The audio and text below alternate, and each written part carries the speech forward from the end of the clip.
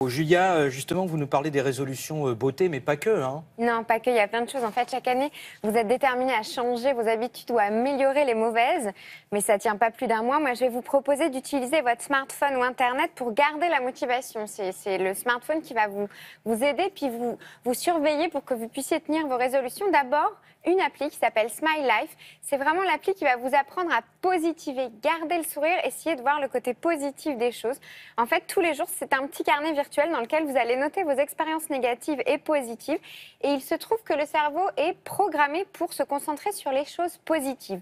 Donc après, en fin de journée, vous regardez un petit peu votre classement et ça vous permet vraiment de vous focaliser sur les bonnes choses. Alors évidemment, qui dit résolution dit sport et ça c'est vraiment très très important. Je vous propose spirit.com. Alors ça, c'est vraiment très très bien parce que ce sont des coachs qui vont venir à domicile que vous réservez avec votre smartphone, mais c'est pas des coachs juste euh, pour des petites choses que vous pouvez faire dans votre salon. Ils vont vous accompagner dans tous les sports, que ce soit du yoga, du tennis, du golf, toutes sortes de choses. Vous n'avez plus qu'à choisir votre coach et ensuite vous prenez rendez-vous. Donc ça, avec un rendez-vous, vous êtes obligé de suivre votre bonne résolution.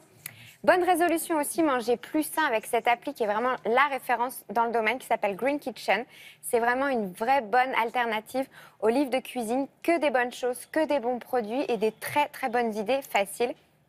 Et puis une dernière résolution, moi je vous propose de lire plus ou de lire ce que vous aviez prévu de lire avec ce service qui s'appelle BooksUp qui est vraiment un, service de partage euh, de livres entre particuliers. Pareil, à vous engager à lire, à le rendre ou à l'emprunter ou à vous prêter des livres. Donc, vous êtes obligé de suivre la continuité de lecture et donc de respecter votre bonne résolution. Magnifique.